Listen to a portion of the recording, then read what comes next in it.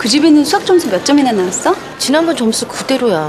무슨 문제 틀렸을까? 점수가 아니라 오답을 체크해야 성적이 올라요.